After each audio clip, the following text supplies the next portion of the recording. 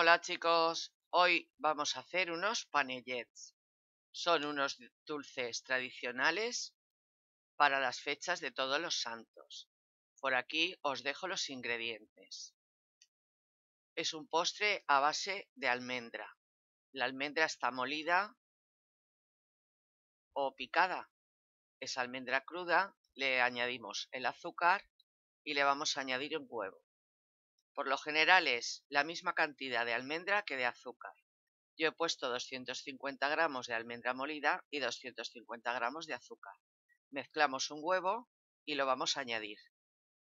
Con todo esto vamos a formar una masa que normalmente se llama mazapán.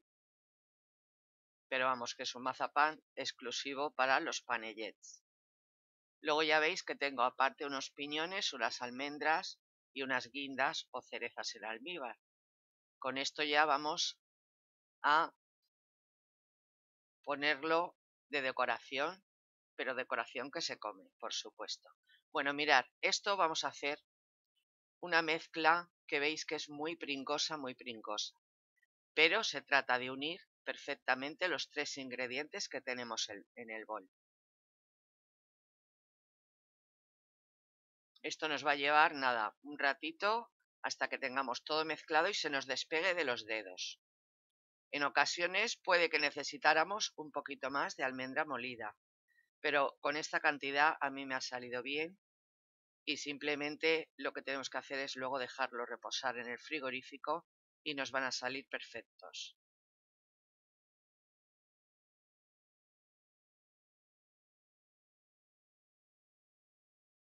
Bueno, ya veis que parece que no se nos va a despegar de los dedos. Es muy pringoso, muy pringoso.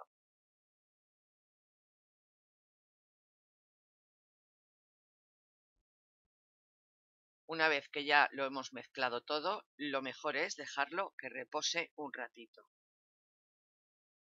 Porque es la única forma de que se nos despegue de los dedos.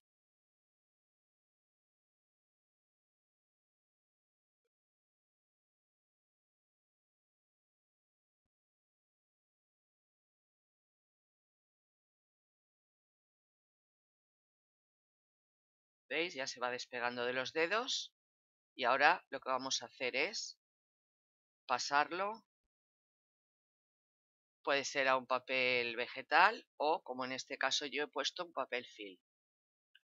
Lo voy a poner entre los dos papeles film y con un rodillo lo voy a estirar. Con el motivo de que se alise completamente la masa y se quede todo muy bien mezclado porque así nos saldrá mucho más fino después a la hora de comer. Nada, esto es un momentito, lo podemos hacer con la mano o con el rodillo, simplemente es para mezclar bien todos los ingredientes y que se alise la masa.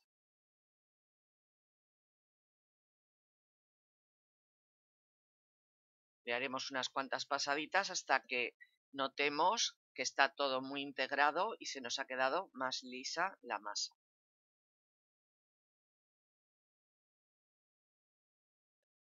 Forma de guardarlo en el frigorífico, pues mira, podemos hacer una bola, un rodillo, un cuadrado. Esto ya da igual porque luego ya es depende de las formas que queramos hacer. Bueno, yo lo he puesto así, un poco así cuadradito. Y lo he reservado en el frigorífico. ¿Cuánto tiempo? Una hora, dos horas, de un día para otro. Ya lo tenemos frío, frío entonces lo que hacemos es que tendremos que tener el horno muy caliente. Bueno, ya veis, he hecho un cilindro o dos cilindros y ahora un poco por coger la medida que sea bastante igual. Ahora ya podemos hacer bolitas, podemos hacer figuritas o lo que queramos. Yo lo he hecho así porque me ha parecido muy fácil y más sencillo. Se hace una bolita, se aplasta y con el dedo hacemos pues un hundido hacia adentro para poner nuestra decoración. Los podemos hacer todos iguales o con distintas decoraciones. Bueno, esta masa es de las más tradicionales. Luego también hay gente que le añade patata cocida por abaratar un poquito la masa. Porque al añadir patata, pues igual se quita cantidad de, almendra molida, con lo cual abarataría nuestra mezcla. Bueno, pues yo en una le pongo almendrita cruda y en otra les he puesto la guinda. Y luego ya hacemos las bolitas para hacer las empiñonadas, que si os gusta, pues y si no, no las hagáis. Esto ahora se harán bolitas y ya lo, lo vais a ver ahora.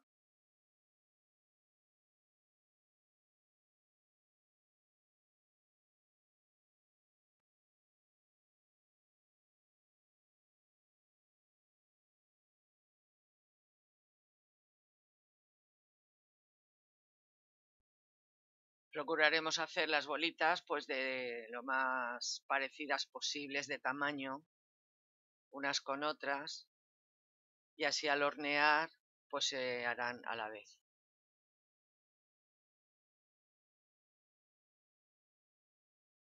¿Veis? Simplemente hundiendo un poquito para adentro y ahora estas pues les vamos a poner la guinda.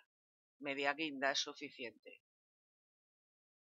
Las podéis poner, también hay guindas verdes. Yo hoy solo tenía guinda roja.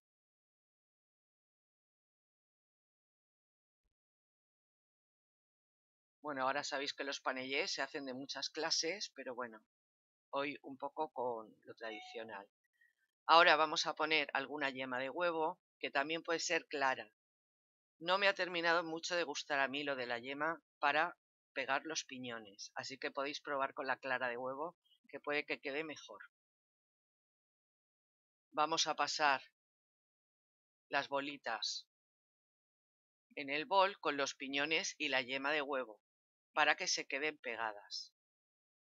Pero sí que os recomiendo que las dejéis escurrir para que el huevo escurra lo más posible y no se nos quede en el fondo de la placa de hornear. A veces es difícil pegar un poquito los, los piñones, pero bueno, esto es una forma así un poco más, más brusca de hacerlo. Me imagino que pincelando un poquito la bolita de mazapán con la clara de huevo o la yema, eh, le pegamos también los piñones para que no tenga exceso ni de yema ni de clara. O de yema o de clara.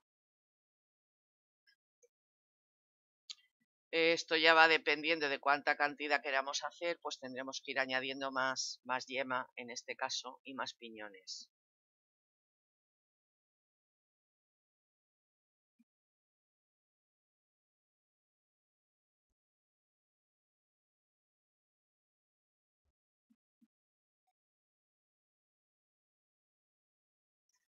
Y una vez que ya los tenemos todos, preparados en nuestra bandejita, vamos a ir al horno. El horno muy caliente, muy caliente. Lo vamos a poner entre 220 y 240 grados centígrados, calor arriba y abajo, y como las galletas, 10-12 minutos de horneado.